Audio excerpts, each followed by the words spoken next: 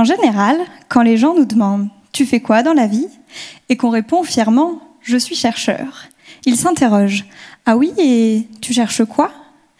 Je vous laisse imaginer la réaction de mes proches quand je leur ai annoncé que j'allais faire une thèse en psychologie.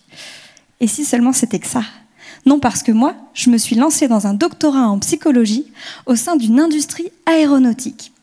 Alors là, grand moment de solitude. Ah, ça a l'air intéressant.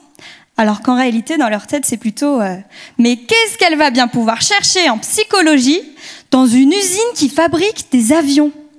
Bon, que je vous explique un peu la situation. Depuis quelques décennies, le monde du travail a connu de profondes mutations. Les entreprises doivent être toujours plus compétitives et créatives. Et de leur côté, les salariés, vous, recherchez davantage de sens et d'épanouissement au travail. Certaines entreprises expérimentent alors des modes de management innovants. Et c'est le cas de l'industrie aéronautique pour laquelle je travaille. Leur démarche, c'est la responsabilisation des salariés, aussi appelée empowerment. Il s'agit du partage du pouvoir et des responsabilités entre un manager et les membres de son équipe. Confiance et autonomie en sont les maîtres mots. Et comme c'est celui qui sait qui fait, on va par exemple confier la gestion du budget aux opérateurs eux-mêmes. Alors vous allez me dire, ça a l'air pas mal ce mode de fonctionnement. Mais comment on le met en place? C'est plutôt novateur. Et il y a aujourd'hui très peu de travaux scientifiques qui démontrent l'influence de ces, qui étudient les, mécanismes d'influence de ces comportements responsabilisants sur le bien-être des salariés et sur la performance des entreprises.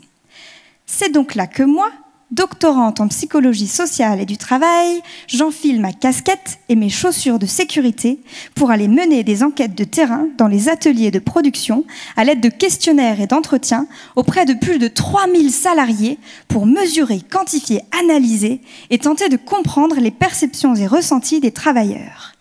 Quelle image avez-vous du manager idéal?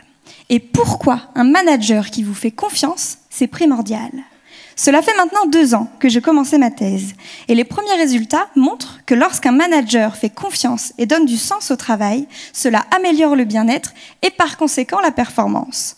En revanche, donner plus d'autonomie et de responsabilité n'est pas systématiquement perçu comme quelque chose de positif par tous les collaborateurs. Il me reste alors un an pour identifier et modéliser les comportements managériaux qui favorisent le bien-être au travail et proposer ainsi des pistes d'amélioration pour faire décoller la performance des entreprises. Alors finalement, n'y aurait-il pas un facteur commun entre la psychologie et l'industrie? Eh bien si. L'être humain